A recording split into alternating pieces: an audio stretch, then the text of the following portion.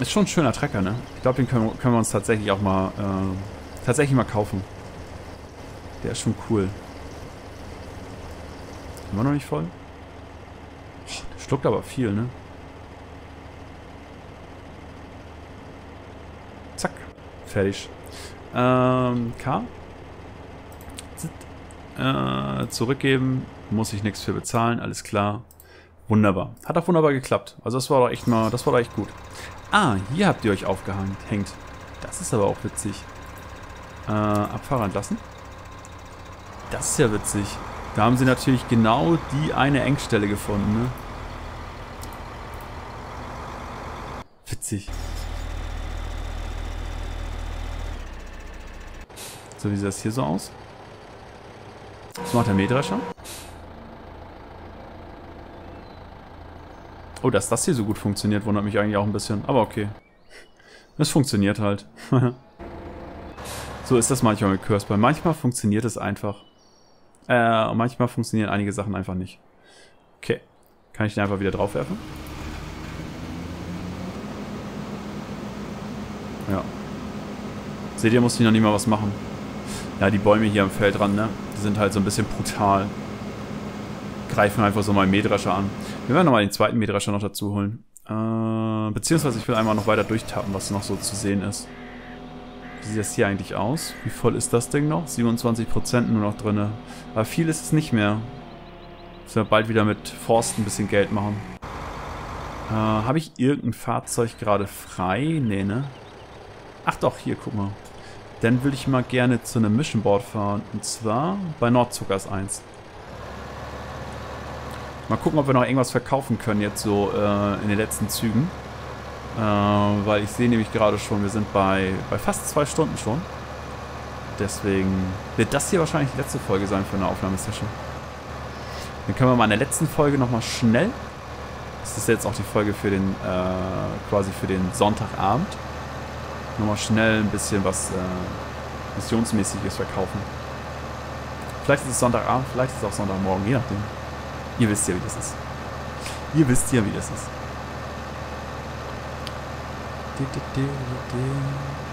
Wäre cool, wenn wir irgendwas verkaufen könnten noch, ne? Hier müsste ich auch noch was ändern an der Strecke, gerade wenn man, äh, wenn wir selber Holz wegfahren oder so. So, keine, keine Mission, ke was? Keine, keine Mission? Schade. Keine Missions. Schade, schade. Weil hier sind wir ja letztens trotzdem noch mit dem Anhänger hängen geblieben beim Rausfahren. Das war auch ein bisschen uncool. Aber naja. Guti, ähm, dann würde ich sagen, ja, schade, hat das nicht funktioniert. Haben wir keine Mission mehr gekriegt. Dann holen wir jetzt den Mähdrescher rüber, den anderen äh, quasi Klaus, ne? Ja, genau. Dann holen wir Klaus rüber. Dann kann er auch noch mal ein bisschen Mäh dreschen. Mäh dreschen. Kann er auch noch ein bisschen äh, Gerste mitdreschen. Und Ach, guck mal, der, der Azubi ist bei einer Überladezone, an der Überladestelle und kippt kräftig in den Container rein. Das ist echt nice. Rein theoretisch kann ich jetzt noch einen zweiten Container holen. Rein theoretisch kann ich noch einen zweiten Container holen, in den dann auch noch reingeworfen wird. Gut, dann fahren wir den mal kurz rüber.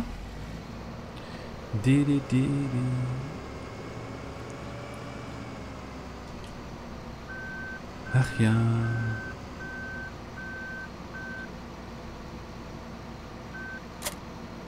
So.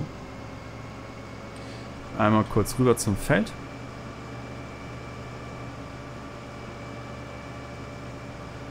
Was hat er denn für eine Strecke drin? Nehmen wir mal raus. Du kannst dir eigentlich schon mal die Strecke vom Feld 27 gönnen. Oh. D. 27D. Äh, genau. Die können wir uns schon mal gönnen. Weil dann werden wir nämlich gleich äh, mit dem anderen Mähdrescher das Feld abarbeiten. Ich glaube, ich werde hier geradeaus durchfahren. Ähm, dann fahren wir nicht an den anderen Feldern vorbei, dann fahren wir über die andere Brücke rüber. Und dann sind wir auch gleich hinten schon bei dem Feld 27, quasi. Quasi.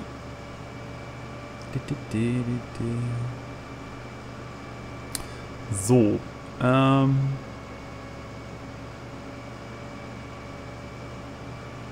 Samport durchdrehende Reifen und der Steyr Multi muss aufgetankt werden. Warum hat denn der Der Sampo äh, durchdrehende Reifen. Was machst du da? Fahrer entlassen. Wo bist du denn hingefahren? Ah, interessant. Ach so, der wollte hier wieder... Ja gut, okay, das sind halt diese Anfänge immer, ne? Das sind immer die Anfänge von diesen Anfängern. So, zack. Das einmal eingestellt. Das stelle ich immer gerne wieder, wenn ich sie neu draufsetze, immer gerne auf den ersten Wegpunkt, damit sie einmal so resettet werden. Damit sie einmal resettet werden. So, jetzt holen wir uns die andere Misch... Äh, jetzt holen wir uns Klaus wieder und dann geht es damit weiter. Ist Klaus, ne? Nicht, dass ich gerade wieder aus der Kette sage. Ne, ist Klaus, alles klar.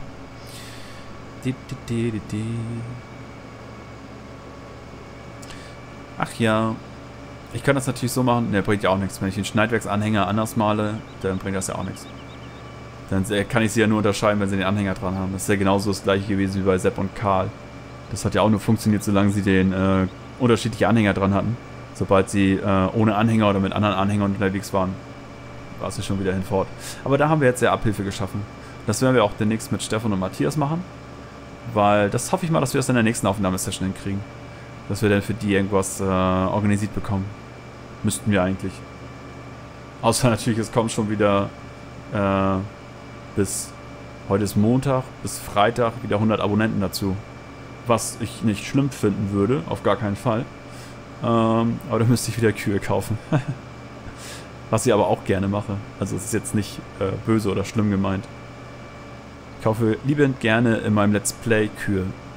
Ich finde, Kühe kaufen ist gut. Außerdem kommt ja Geld rein. Und wenn äh, es dann doch mal so sein sollte, dass, dass eine gewisse Geldknappheit da ist, dann machen wir halt mal Forst. Dann machen wir Forst, aber mit, äh, mit Hackschnitzel. Na, dann hackschnitzeln wir mal ein bisschen. Ich glaube, das ist auch ganz cool. Dann hackschnitzeln wir ein bisschen und ähm, ja, Hackschnitzel haben halt immer so einen schwankenden Preis, ne? Und da liegen auch Preisschwankungen. Müssen wir mal gucken, wie wir das machen. Oder ob wir nur vielleicht ein, zwei Anhänger voll Hackschnitzeln. Ich weiß es noch nicht. Oder einfach nur wieder weiter normal Holz machen. Mal gucken. Ich finde Forst nämlich äh, auch sehr, sehr schön. Ich finde es unterhaltsam, ein bisschen Forst zu machen. Schön immer reinfahren mit der mit dem Scorpion King, da die Stämme rausholen, danach den aufladen. Das ist etwas, was ich gerne mache, muss ich ganz ehrlich sagen. Das ist etwas, was ich wirklich gerne mache.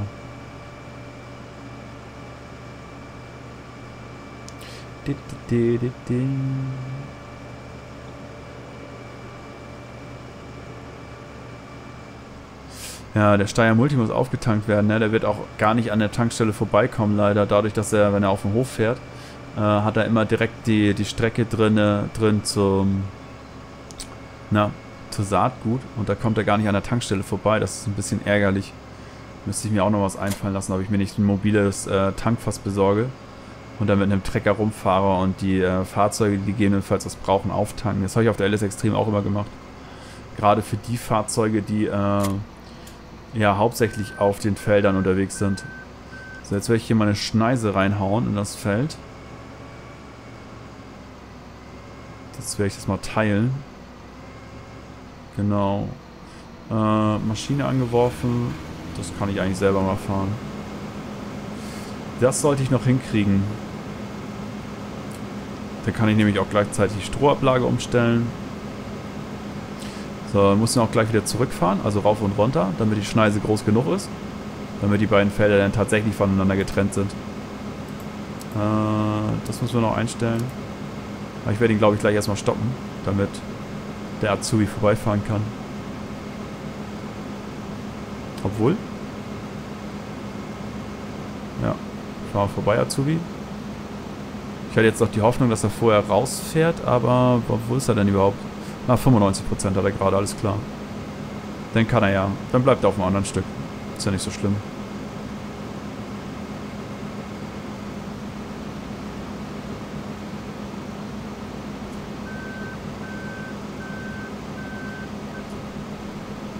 Oha.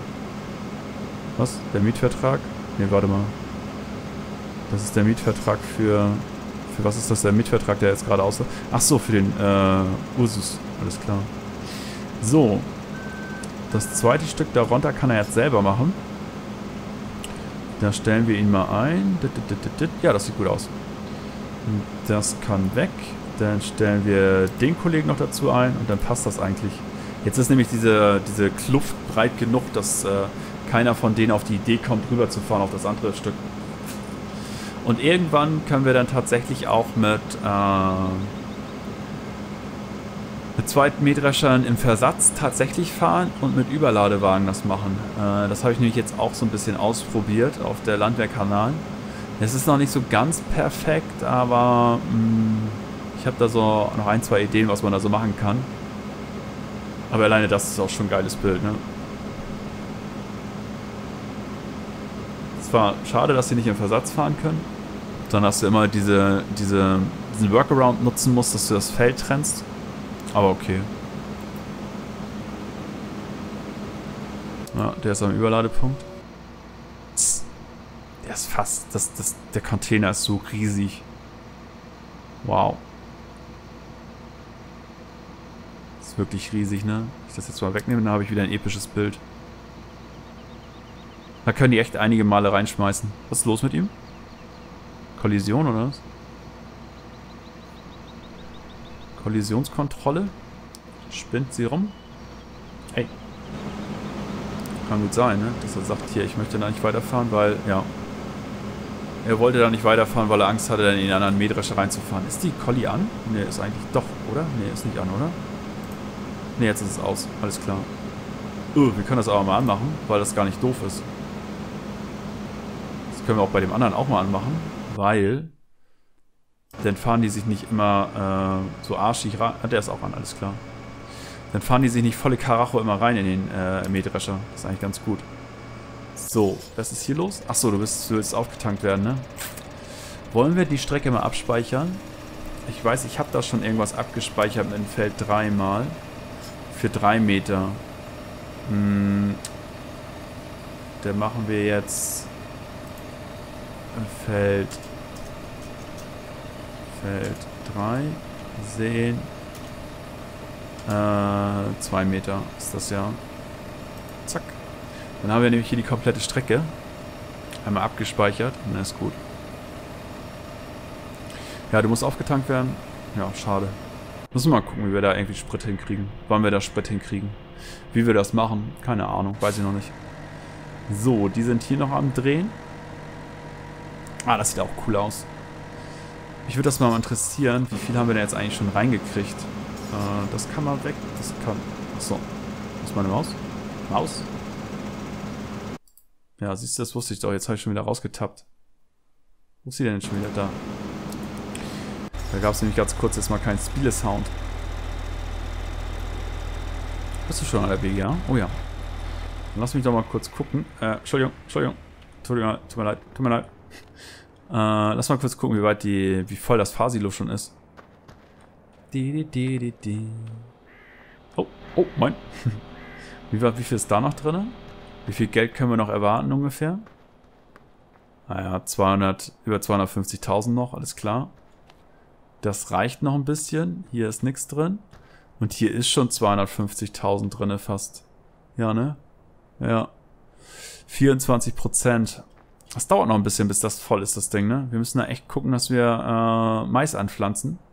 Und dementsprechend weghäckseln. Müssen wir mal gucken, welche Felder groß genug sind dafür. Ich glaube hier das Feld äh, 12 hier vorne würde sich anbieten, weil das war ja auch mal ein Maisfeld. Äh, das war wahrscheinlich sehr teuer, ne?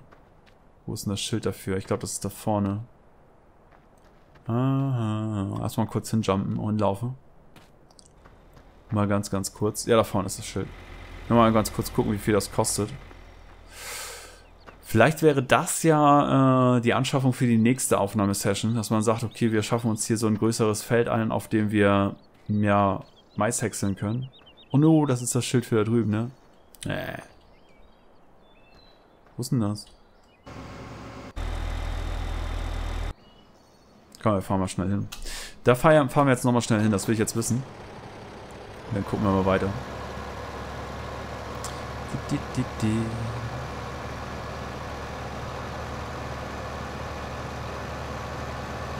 Zwar ist das da 17, genau. Das ist nämlich hier vorne schon das Feld, siehst du? Aber wo ist das Schildchen, dass ich das kaufen kann? Da steht nix. Oder ist das schon meins? Ne, 12 ist nicht meins. Da steht nix. Da vorne ist es, ne? Ja, da vorne ist das Schildchen. Ah, das ist nämlich ein schön großes Feld und es ist dicht an der BGA. Das ist, sind ja zwei Sachen, die schon mal richtig gut sind.